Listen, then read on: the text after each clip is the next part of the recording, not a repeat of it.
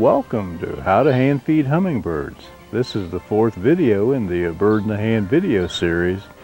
And in this video you will first learn how to attract hummingbirds into the yard and then you will learn a quick and easy technique to teach your hummingbirds to feed out of your bare hand. First we'll just take a few minutes to make a simple dummy that will quickly get the hummingbirds used to our presence in the yard. All we'll need is an old pair of pants, an old shirt, sweatshirt, or jacket, and a ball cap or some other type of hat.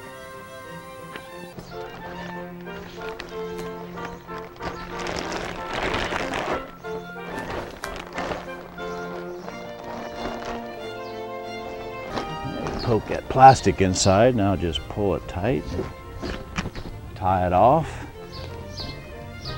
Now we'll take our broom handle or mop handle, whichever you have, and run it down through the bottom of the jacket, up through the top and out the bottom.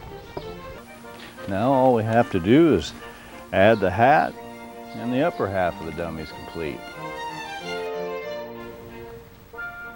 Now that the dummy is complete, we can start assembling a hummingbird training station in the backyard. Next, just add the bottom half of the dummy to the chair and allow the bird several visits to get used to this new setup.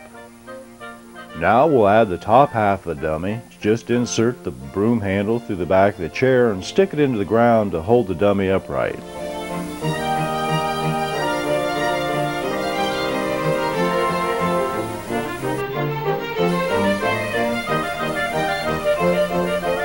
Now raise the dummy's arm up so that you can lay it in the hook of the hanger and squeeze the hook shut to hold the dummy's arm in place. Not only does she see my bare hand holding the spoon, but I've also changed the color of my jacket. Upon her return, almost without hesitation, she goes directly to my hand and starts feeding out of my bare hand.